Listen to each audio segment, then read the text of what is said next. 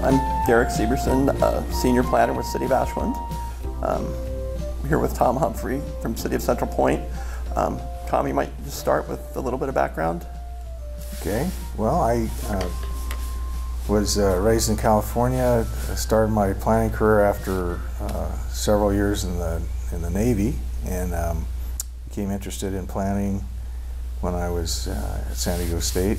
And uh, my first, uh, I became established in my, my career path in the San Joaquin Valley in the Merced County, and after eight years there, um, was intrigued by and interested in uh, moving to Oregon. Um, moved to Oregon in uh, 1994 with my family and uh, started working in uh, Roseburg at the Council of Governments. And um, I was there about four years. I uh, did some work in uh, Jackson County, actually in Josephine County, uh, as a collaboration with RVCOG, um, probably in 94 and so I'd had some exposure to um, to Grants Pass and uh, and planning in Southern Oregon, but uh, I uh, uh was on under the impression that that uh, some issues could be somewhat contentious down here, but I think I found once I moved that um, they were reconcilable, that people could be kind of rounded up and and um, and uh, not made to cooperate, but I, I, I discovered a different uh, atmosphere once I got down here that uh, you know people could collaborate, could work together, could uh, kind of break out of their silos and um, uh, start um, working with one another and um, actually enjoy it. So. Um, I've, uh, I've been here about 21, 22 years, uh, moved down in the uh, early 90, 1998. I, um, I had a couple of advantages in, in arriving in Jackson County. One is I was invited to, to interview for my current, um, well, for the position of planning director because I, I had worked with um, the gentleman who was the city manager when I was in Merced he and I knew one another from Merced. He um, used me as a reference when he applied for a job as the planning director in Central Point. I was up in Roseburg. Um, the, uh, he was made city manager in, uh, in Central Point after kind of uh, a turnover and some upheaval within the, uh, the city structure. But he, um, he, he thought that he should be a manager full time and was looking for a planning director. And he and I happened to attend a, a benefits uh, fair together in Ashland, and he asked me if I'd be interested in applying, uh, which I was. And so um, interviewed and, and was selected as the planning director for Central Point. I, I had a um, uh, one uh, employee, planner, and uh, I shared the secretary I shared a secretary with the city manager, and so there was two and a half of us in the department at the time, and there was a lot of uh, a lot of activity in Central Point. There was a lot of uh, growth occurring uh, in the city, and um, it was alarming people. Uh, as as you know, the city surrounded by prime farmland, and uh, some of the land had been included in the urban growth boundary uh, from the mid '80s, and um, um, was um, being considered for development.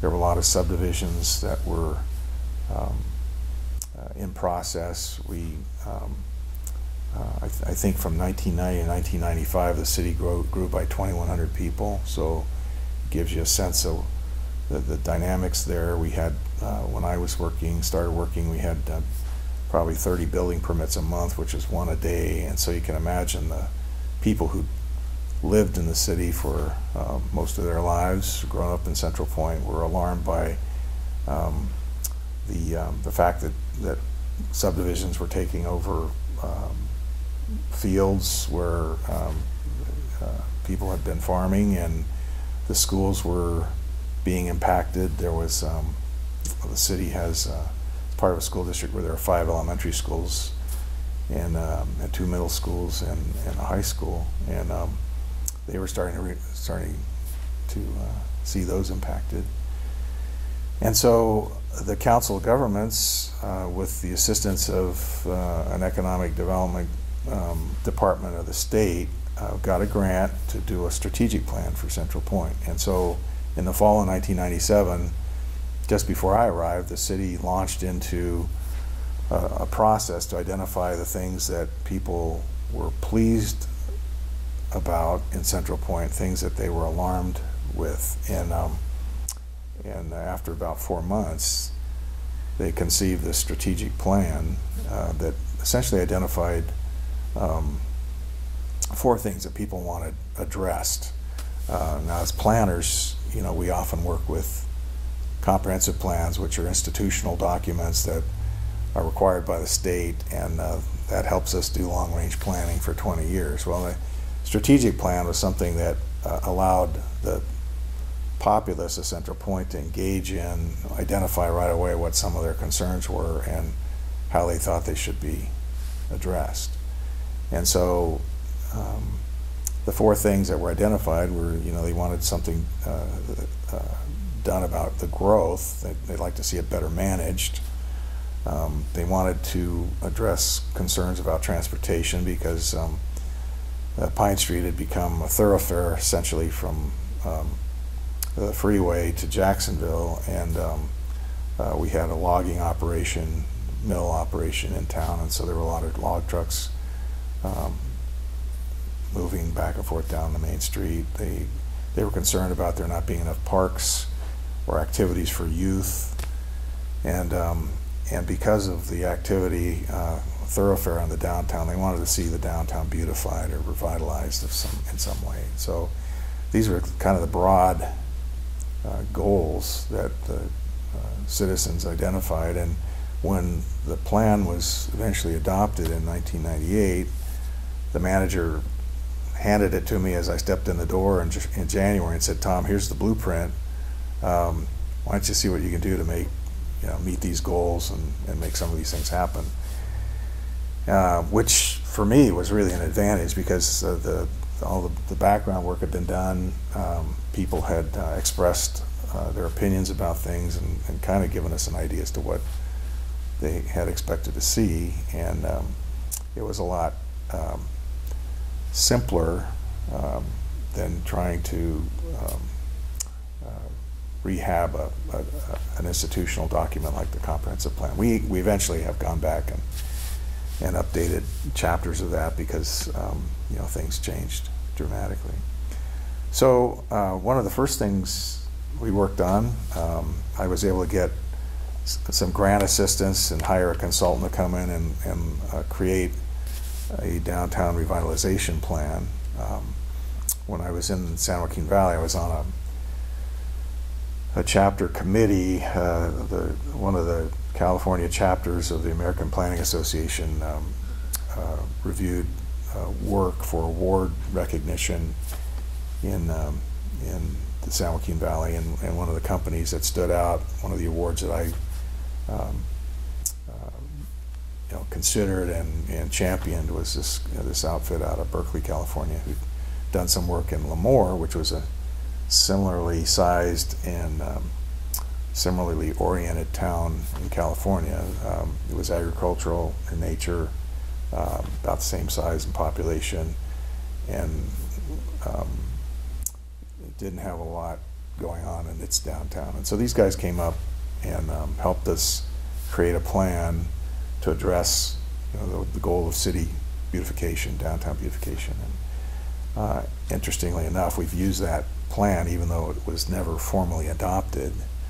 Uh, the recommendations from that enabled us to acquire property for um, additional downtown parking, identify um, uh, facade improvements uh, for buildings, identify what buildings we ought to main, you know, make an effort to uh, preserve because of their historical significance. um, how we how we could improve uh, uh, the downtown in terms of its walkability and and accessibility to pedestrians and, and cyclists. Um, just a, a, lot of good information in there. We uh, one of the other things they did is they tried to to create a dimension to the downtown. Pine Street was kind of one dimensional, and by uh, identifying a, a cross axis at the at the center of this little six or eight block core. Um, we created a second dimension, and this cross axis was Third Street, um, which terminated at the south in the historic um, uh, Central Point Elementary had a historic building, which is one of the original turn of the century buildings. Uh, the north terminus of this cross axis was the high school, and um, and they thought that we ought to reorient uh, City Hall to, to Third Street and um, and and we had been talking about um, collaborating with Jackson County and the library and, and creating a city hall that incorporated the county library in it and and, and reoriented it to Third. And and then the school district when they were successful passing a bond um, rebuilt Central Point Elementary and and uh, turned the historic building into their administrative offices and restored that. And so and created a uh, performing arts uh, building at the um, the northern terminus on the high school. So they it, it started to having had this plan gave us uh, enough structure to um, collaborate with the county and the and the uh, with the library and uh, coordinate with the school district in its um, reconstruction of one of the elementary schools. Um, so that plan has been really helpful and it's uh, the, the pieces of the strategic plan um, addressing city beautification, um, identified other things that we should work on in order to get to that goal. And I can talk about those in a minute after I address some of the other sure. growth related uh, so having that strategic plan, and you'd initially mentioned that you kind of before you came here heard about how contentious things could be down here yeah. and the objections to growth that we're developing in Central Point. Did having that strategic plan sort of head off some of that contention and get citizen buy-in? Well, it, in Central Point, it, it sure did, and um, you know, part of the part of the things I may have alluded to is that you know there uh, people were kind of isolating themselves from one another. You know, uh, Medford from Central Point, from Eagle Point, from Ashland, uh, from the county, and um, and so uh, for Central Point, having the strategic plan did bring together those entities that uh, provided services to Central Point. I think uh, the city appeared to be somewhat forward thinking when it um, when it dissolved its fire department in in favor of collaborating with Fire District Three uh, to save money um, collaborating with Rogue Valley Sanitary Services or Sewer Services um, rather than doing our own work to save money. And we've done other things like that, the county justice system and and um, uh, uh, I, I, can't think of some of the other. I think some kind of water delivery and so forth. Um, those were probably collaborations that ultimately grew out of this strategic planning process because we were we were inviting these groups who we were already contracting with to participate. So that probably helped. And then uh, once I got to the valley, I noticed that um, uh, we did have an effort being made by um, engineers and planners in the county to talk about transportation issues. And um, I was familiar with that from Merced because we, we were a metropolitan planning organization. Um, our council of governments um, managed these um, conversations with, um, with different entities to, to get federal funding for city and county road improvements. And so uh, I, I kind of got involved in that, that process um, as the city planner. And, um, and that that be, became a, you know, I guess it was just um, working at building relationships. Eh, what is what ultimately led to um, uh, improved uh, uh, communication and successes with you know, regional planning projects. I think the um, the planning, uh, the transportation planning ultimately uh, that, that was being done in the Rogue Valley was recognized by the state. They created these area commissions on transportation. We were involved in that, and, and because we were at the table with the other cities and the county and, and some other agencies when um, issues were being raised about preserving farmland and uh, the concerns expressed by um, uh, you know local activists, um, uh, uh, agricultural supporters, environmentalists.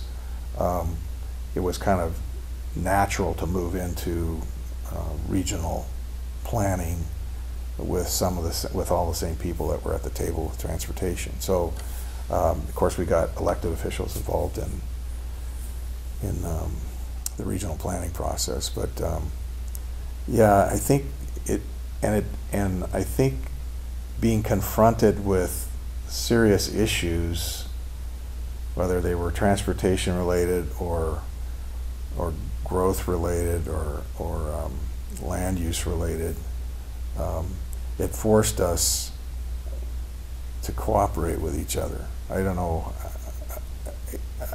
I just I, I began to see how you know you just have to be persistent. Um, I think people realized there was there was a, a, a, common good. I mean, everybody was interested in themselves, obviously, but they, they began to realize there was a common good to um, uh, working with one another. And um, you know, if I can say so, I think sometimes the state was viewed as the adversary, and we were going to work together to kind of chart our own course. Um, when we got into the land use arena and we um, kind of piggybacked on, uh, on a plan that was being done called Our Region, um, we saw that the state had made some effort at recognizing that not all regions of the state of Oregon are created equal. And so when they created regional problem solving in an effort to acknowledge that, um, our our area took it seriously. And I have to say that you know the Rogue Valley is the only entity that really was successful in in using this regional problem solving um, framework that that uh, the state created. They, it was tried elsewhere, but after a few years, some of the entities just couldn't or decided not to, to hang with it. We, I guess, were a little more stubborn in the Rogue Valley and decided that you know, however long this is going to take, we're going to finish it. And um, it took ultimately 12 years, um, which is a long time. But we, we had people who were passionate about it. Uh, they wanted to see it through. Um, uh, they thought that it would ultimately benefit um, all of us and that we'd have a little more uh, autonomy when it came to um, expanding our urban growth boundaries and developing our cities, and uh, it also gave us more autonomy as cities to create our own identities uh, without kind of merging with each other. And Central Point shares a, you know, two boundaries with the city of Medford, and so it was very easy to just become, you know, a, um, subordinate to Medford um, on the north, and Phoenix experienced the same thing on the south. So this. Uh, um, and it was consistent with what our strategic plan had kind of set a goal for us to do. Uh, I've, I was, um, we've actually conducted, we're into our third strategic planning process in the city of Central Point. We, we, we had the one in 97, 98. We, we looked at it again in 2007, 2008, which was our 2020 plan. And now that we're in 2020 almost, um, we started into another process um, to take us to 2040. And um, uh, the, the fun thing about these strategic plans is, you know, because we articulated our goals and um, subordinate strategies, uh, you know, I could just take the, the document and, and uh, check off, you know, done, done, done, close to being done. And it's really gratifying. You know, you've got a record of, of uh, accomplishments that you knew people really wanted you to work on. Um, uh, but that plan uh, was kind of the um, forerunner to a lot of things. It, it, you know, like I say, it was the downtown revitalization. It, it was the um, uh, precursor to the city's involvement with uh, regional planning and managing growth and identifying uh, our kind of our unique position in the valley. And it, it gave birth to the city's parks and recreation program, which we didn't have. And so when the people said we'd like to see uh, more parks, we'd like to see more opportunities for youth and recreation, uh, it started um, quietly and, and uh, it's kind of evolved out of the Public Works Department uh, because that's where the park maintenance was, was occurring. But uh, we brought some people on on a temporary basis and they, the, the parks and recreation program just took off and that seemed to be the, the glue that started to hold people together. That and, and public safety, the police department. So the, the, the police and the parks and recreation program really seemed like it, um, it was were the, the, the components that uh, um, started to bind people together and improve the internal communication that we had with um, our citizens. And uh, uh, just as an example, our public works director, once the parks program or the recreation program got off the off the ground, our our uh, public works director, who was uh, uh, an outdoorsman, uh, conducted a fly tying class and fly casting class, and um, you know was right up his alley. And that and, and those types of things, you know, all of a sudden you're getting people volunteering, uh, people coming in and um,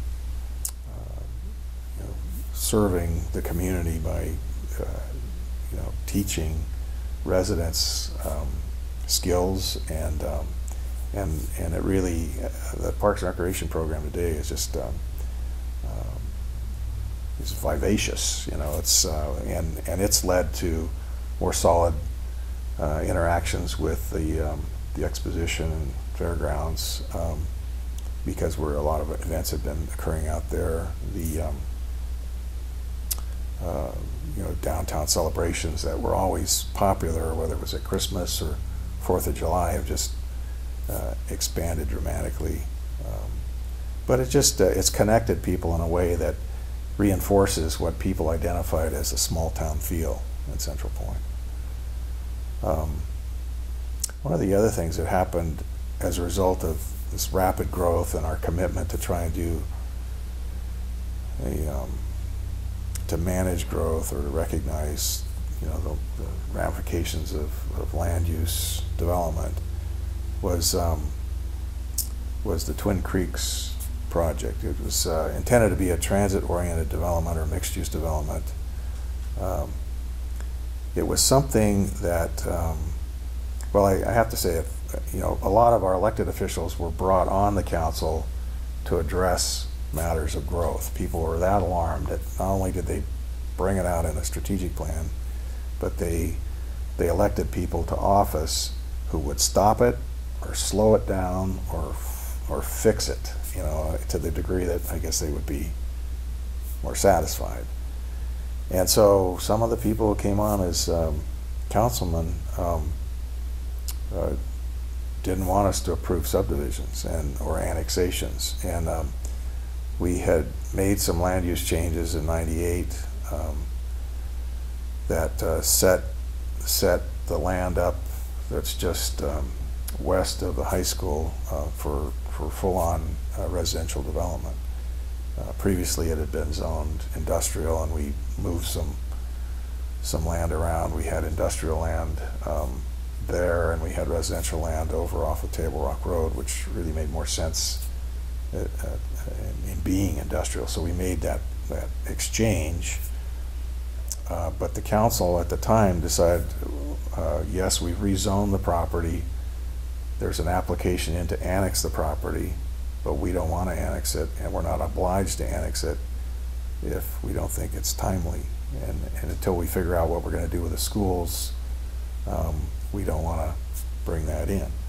Well, coincidentally, the um, the state came down with uh, one of one of its uh, mandates or recommendations to reduce vehicle miles traveled and was uh, insisting that the Rogue Valley come up with some mixed-use developments in order to um, to contribute to that reduction. I guess it, it was somewhat experimental, but it was it was a mandate. And so the Rogue Valley Transit District or Transportation District and the Council of Governments um, began a, a, study to improve public transit by creating these concentrations of, of uh, activity uh, that were mixed use. Um, one of 10 was the one in Central Point uh, at Twin Creeks. Um, and this was the area that was asking to be annexed, but that the city didn't want to annex. And so uh, I knew the, the players involved in that, the developers, contractors involved in that. So I got them involved with uh, on a committee that was part of this uh, group looking at all 10 sites. And um, uh, they, they began to realize that maybe um, this transit-oriented development might be a better option for them. Uh, certainly, you know, you, you saw construction of more units as a possibility, but it also was um, would have involved more open space and uh, address some of the environmental issues that people were concerned about. And so, um, uh, where we had about 200 acres that were identified for single-family detached homes, that would have accommodated about 500 with a 10-acre park and uh, a railroad crossing with uh, some commercial in its vicinity.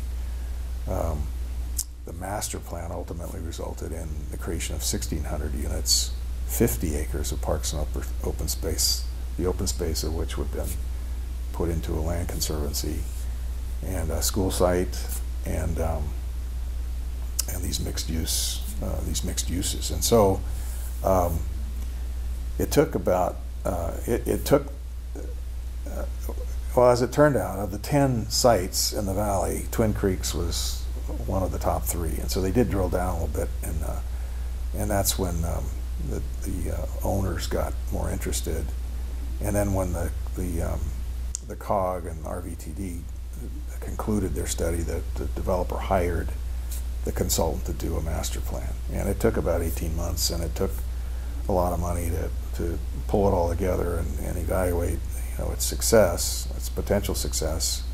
Um, the council, having been brought on to uh, quell the growth and manage it, uh, were you know reluctant. In fact, there was a, a motion made to um, uh, go to a voter-approved annexation. So let the, the citizenry of Central Point decide um, uh, whether or not the, the land should be annexed after all this effort was made to um, thoughtfully develop it. Uh, we viewed that as probably more problematic because that wouldn't have meant, um, wouldn't have been isolated to Central, uh, to Twin Creeks alone, but it would have been every time somebody wanted to annex, it would have been a, a um, kind of a collective decision.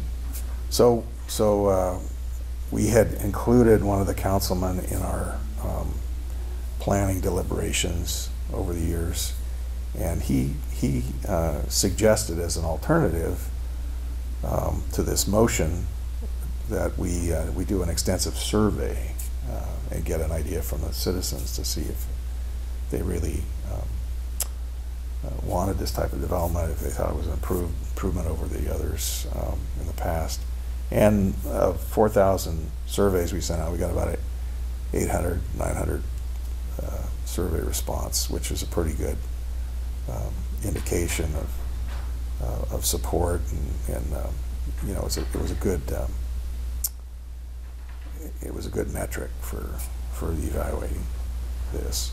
And so generally people supported it. And so uh, ultimately the council bought into it. They adopted a, pre-annexation development agreement. They, they um, uh, insisted that the, the project be phased, that certain public improvements be done uh, prior to each phase in order to com complete the entire project. The other things that were occurring at the same time was a reevaluation of, of um, the elementary school um, wards or um, um, uh, student population areas. Um, the school district, um, as I said, had five elementary schools. Two of them were in the county and, and had declining enrollments in Sam's Valley and in Gold Hill. And uh, what we discovered in looking at that more intently is that people, we were busing kids from the county into the school system in town, and that was one of the reasons it was being impacted. And so when they redistrict the uh, elementary school boundaries, um, it, you know, that created uh, some relief to the overcrowding in the in the city schools, and uh, and then we worked with the school district. The city worked with the school district to um, ultimately pass um, a, a new school bond, um, which um, they'd not passed in 20 some odd years, and they tried three three times. Third time was the charm, and uh, and that did, uh, you know, the redistricting gave some relief to that. The um, uh, proposal for a new school site, if if needed, in central uh, in uh, in Twin Creeks was was approved. Um, it just things started to click, you know, and like I say, every one of our goals could be kind of checked off. Um, you know, dealing with managing growth in the city, dealing with managing growth outside the city with our, our partners in the Rogue Valley, um, dealing with transportation issues uh, as they uh, applied to Central Point. Uh, part of this uh, mixed-use development involved a, a railroad crossing, which we had to um, work out with not only the railroad but Jackson County, local farmers, um, uh, ODOT. We had to take jurisdiction of the entire state highway to, you know, um, put the improvements in that were, were needed in order to get the railroad crossing and actually warrants for the signal. So um, the Parks and Recreation program was was um, blossoming, and um, so those were all those were all really gratifying, you know. But they still they all still took time. And um, uh, when I was in Roseburg, I lived on a farm, and uh, for four years. And one of the things I I, I came to appreciate about farming, um, which was one of the many things I was involved in, was that some things just uh, you know it's all about timing. It's all about timing, and uh, the farmer knows that when he he, he plants. Uh, um, there's a lot of activity around the, the, the planting and uh, and the preparation, but then you just have to back off and let let things happen. There are other instances where when things grow and uh, and hay needs to be mowed and and baled and put away, um, and and weather's a factor, then you need to you need to act more quickly. Um, uh, to take care of that, and so and I, I don't know. I guess you can make an analogy to, to planting uh, in, in some cases where you just you need to you plant the seed, you need to uh, nurture it, and then then you just need to wait in some cases. And I'm on the receiving end now because after 20 years, I'm starting to see uh, things that that were conceived 20 years ago uh, come to fruition, uh, not without some heartache uh, or some um, uh, some argument and um, and, um, and and outright fights. Um, but ultimately, you know, we're starting to see see the payoff, and and uh, it reassures the population. You know, once you've you've checked some of these things off, and they know you're listening, taking them seriously, and uh, and working as uh, in, in collaboration with them, um, uh, then they're willing to go the next to the next strategic plan and the next to the next uh, um, milepost. So I've said a lot.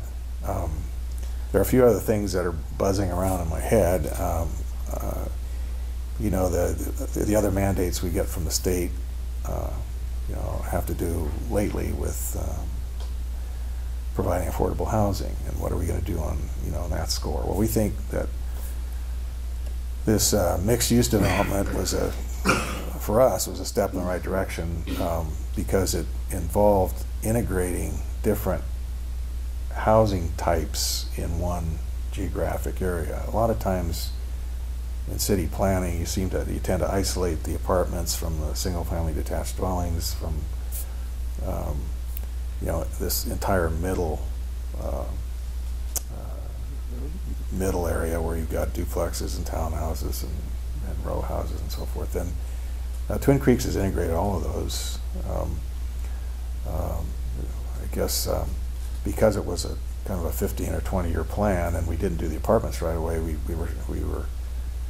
I guess you kind of laugh about it now because you've got got through the worst of it. But the people who went in early in single family homes uh, kind of got established, and then we started building apartments, they started uh, screaming about you know screaming about that, only to be reminded that well, you know, this was part of the plan when we first conceived it, and uh, so you shouldn't be too surprised. And uh, these guys are making an effort to to do it the right way. But you begin to see that the value of, of it, the integration because it um, um, it kind of everybody's proud of what they have, and uh, we've we've seen people, um, you know, take an interest in uh, preserving their property, uh, uh, and you know the, departments don't, you know, fall to disrepair. They're well managed, as are the individual lots, and and then we've done these row houses, and we've gotten. Um, uh, retirement facilities incorporated into the mix as well. So, I mean, it, uh, every time you introduce something new, to a, a population who is accustomed to having things done one way, there's always going to be a little upheaval, and um, we've experienced that on occasion with um, the introduction of affordable housing. We have great partners with the uh, housing authority.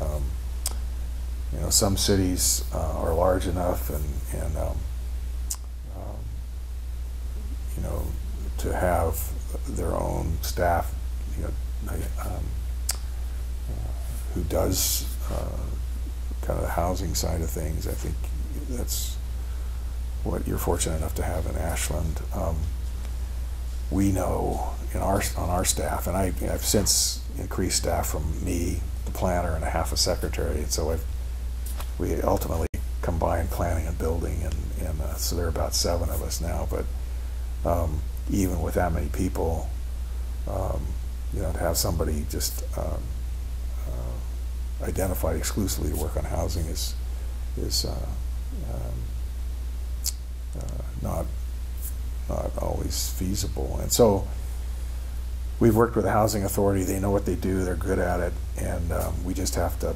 kind of pave the way uh, for them and and um, lobby our council when necessary to, to, to, support it. And once I found um, where a lot of things were met with skepticism early on, um, ultimately the people, once you kind of um, got the critical mass of support and the thing was built, um, and people realize, well, oh, well, this isn't what I thought it was going to be. This is better than I thought it was going to be. Uh, and then they say, well, build more of those uh, you've got my support now. So a lot of things, you know, my role was just like kind of convincing enough people that this was going to be a good thing. And then once we had, you know, our uh, democracy at work and, and uh, you know, the, the um, majority voting in favor and, and seeing the construction go up and, and realizing the benefit, then all of a sudden it was, okay, all right, well, that turned out better than we thought. And now we have an example that we can point to. And um, if we, our constituents are resisting this development because they have one perception and we can show them different, then uh, um, uh, we're good. You know. Mm-hmm. And just changing gears a little bit, I, I, think my recollection is you take a pretty active role in economic development there too, more so maybe than other planning departments? And haven't you um, worked quite a bit in recruiting businesses and and retaining and training them to be successful more so than yeah, maybe I, anyone else? Yeah, I appreciate that question. That's um, uh, years ago. Um, well, so as part of the downtown revitalization theme, I, I started to get involved in um, in down, uh, the Oregon Downtown Development Association, at least attend their conferences. And coincidentally, I went one year with uh, John McLaughlin, who was then your planning director, and um, it was up in Hood, Hood, River, and we we uh, sat in together on a, a workshop that was led by a gentleman by the name of John Schallert, who whose um, focus was on helping small businesses become destinations.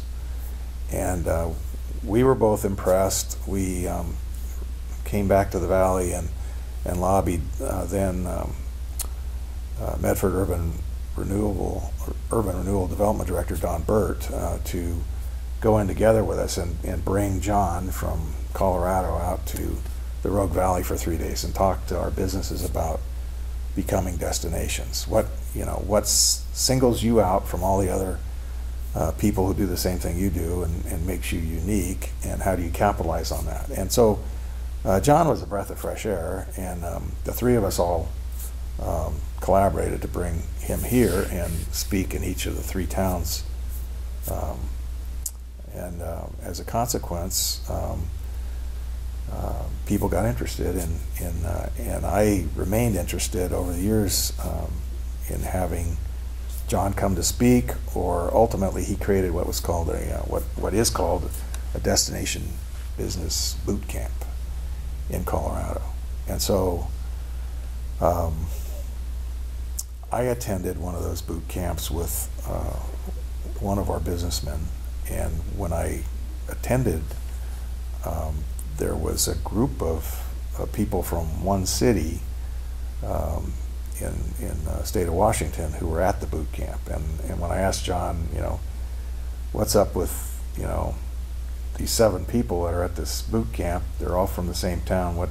You know, that's part of my community reinvention program. And his logic was, you know, if uh, a community development director or economic development director would bring six business owners to the boot camp who would all hear the same thing. The logic was they'd go back to their community and they'd, they'd support each other uh, in becoming destinations. And so I, I thought well, it took me like three years after that to, to assemble six people who were committed to doing the same thing. And, um, uh, and, uh, and I had to keep sweetening the pot because they, uh, you know, I agreed to pay for their registration. Uh, ultimately, I agreed to pay for their travel expenses and with the stipulation that they just had to take time away from work to go to this boot camp. They wouldn't regret it.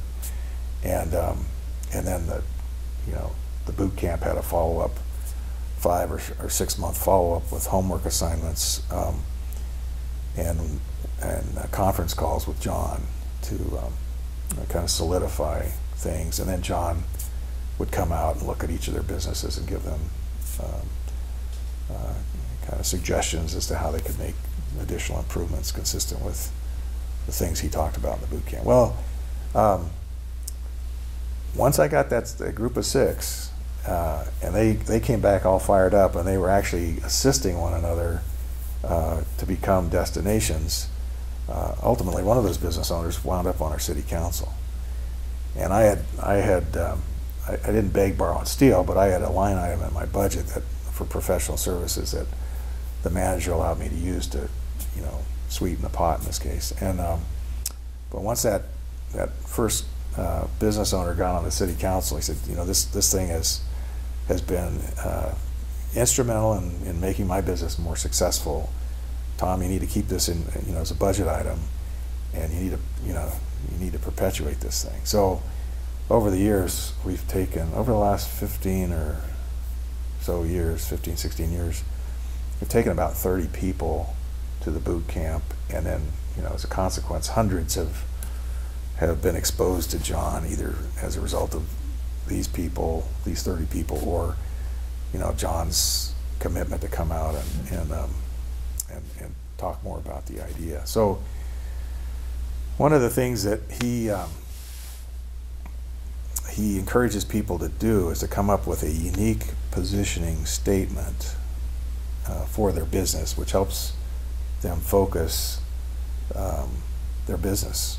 You know, their their employees, their their customer service, the um, people that they market to, um, all of their efforts kind of revolve around, you know, what is it that makes you unique? And so that's often the hardest part is just coming up with a unique positioning statement. The city, it took me a few years to kind of come up with one. Um, for Central Point, but I, I think I finally um, wound up with, with one for the city, and that is uh, uh, we're the most cohesive, people-friendly community in Southern Oregon, guaranteed to surprise you. But that's that gives you a sense of what. So that's the first sentence in a unique positioning statement, and um, I, uh, it took me about ten years to come up with that. So I'm going to try and perpetuate that idea. Uh, most cohesive, people-friendly community in Southern Oregon, guaranteed to surprise you. And so we hope that's what we're doing. Um, the things that we've done to keep people uh, to attract other business is just um, and and, um, and, it, and, it's occurring to me that this is probably uh, somebody asked me this the other day you know what, was, what are you most proud of now that you've been in central point for so long and i said well you know i could identify specific developments or plans but i think what i'm most proud of and gratified by is um, you know, this, the sense of creating a, a, philosophy or an attitude uh, that's shared by uh, most, if not all, of our employees. Um, the current city manager, you know, started working for the city uh, the year after I did. He was in the engineering department. He's risen to uh, become the city manager. Um, the public works director was uh, worked as a temp for me for six months before I brought him on full time, and now he's the public works director. The police uh, police chief, you know, was a patrol officer, uh, has risen through the ranks to become the chief of police, and and every one of us and the people that we've gone out selectively recruited, uh, brought in in the finance department and the building department and um, human resources, all uh, are oriented toward helping people achieve their goals. You know, how can we help you? uh, have a better experience in the city of Central Point. Um, often that's at the expense of other surrounding cities. Well, I get, you know, this town or this town, you know, it's so hard to get, you know, permit approved or, or uh, bring a business in or blah, blah, blah. And, and so, no disrespect to anybody else. It's just like, this is, um, we want your experience with us to be the best possible one you can have. Uh, we're not perfect we make mistakes, uh, but we like to think we're not as autocratic as some governments can become. And so that's what I'm most gratified by. Is like I know if I were to retire or leave, that there's a city manager, a public works director, a police chief, human resource director, finance director, building official who are going to, you know, maintain that philosophy of cooperation, and um, and that's gratifying. Uh, we have attracted new business. Um, we, uh, we've attracted Costco, which was a big deal for us. We have an award-winning uh, creamery that's 85 years old, and you know most people are aware that they've just won an award as the best cheese in the world, um, uh, which which uh, even surprised them and, and delighted them, of course. But you don't want them to leave, and so what do you do to try and you know make sure they stay? And and so that's that's part of it. Is you know it's attracting new business but it's it's making allowances for and helping these other business, existing businesses to think about how they can expand and, and uh, be continue to be successful. Uh, so we're working with the creamery to make sure they've got a big enough footprint. If they after all their um, um, prestige um, you know decide they want to expand their operation you know want to keep them in Central Point, if at all possible. We have Erickson Air Crane.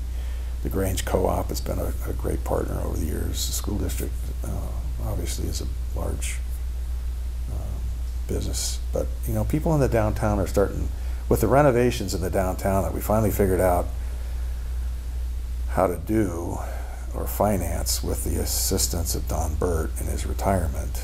Um, uh, just just re constructing the downtown and bringing in hardscape and and you know trees which were once there has has uh, gotten people's attention and then we we've uh, made a, uh, a, facade improvement program available where the city matches dollar for dollar up to 10,000 for for people to make an investment in the appearance of their building as well as in um, the performance of their their uh, business. So we're trying to hit both, and uh, people seem to be pretty enthused at the moment.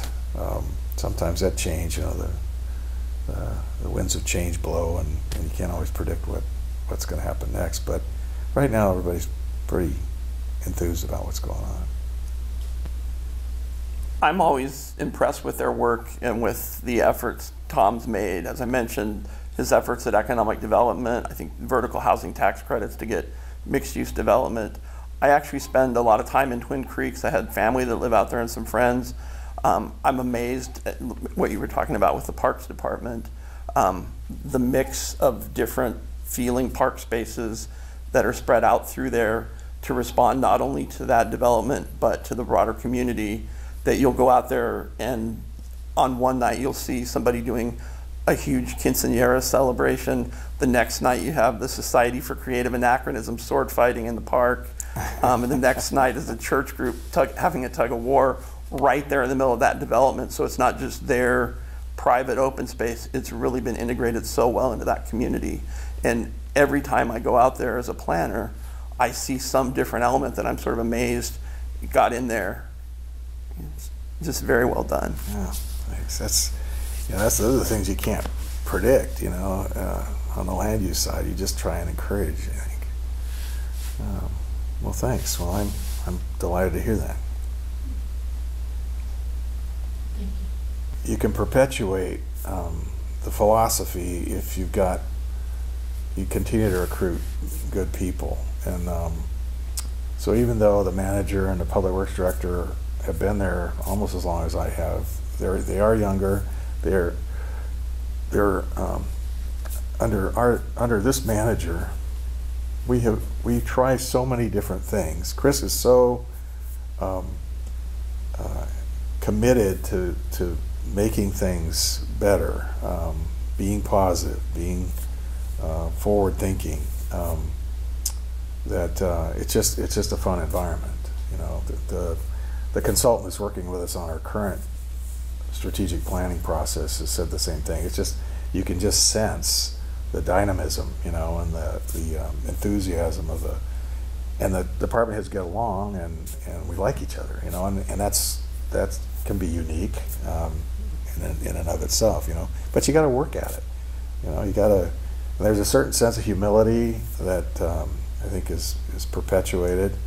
We're fair, uh, but we do look for ways to make things happen, uh, you know, within the rules. And I think uh, sometimes with planners or build building inspectors, you know, if you're a little insecure in, in your ability to make decisions or what the what the rules really say, um, you know, you don't you don't take risks. Um, I've got a building inspector who is uh, uh, so well acquainted with the code that when an issue comes up, he says, well, you might not be doing it this way, but here's an alternative that you can use, or he's willing to accept an alternative because he knows what the end goal is. And so, and that happens from the planning department too. It's like, well, what's, you know, what's the spirit of the law and what are we trying to accomplish here? And can we make a concession or do we just change the rules, you know, so that they're more reasonable? And we've done both. And, and we're not perfect and we've made mistakes and we're willing to admit our mistakes and, and give refunds on occasion. So, uh, but it, it, so if there, one or two people are doing that, and and it's uh, the you know the, that's the culture, then that that's something that we we hope will be perpetuated. All right. Thank you very much. My pleasure.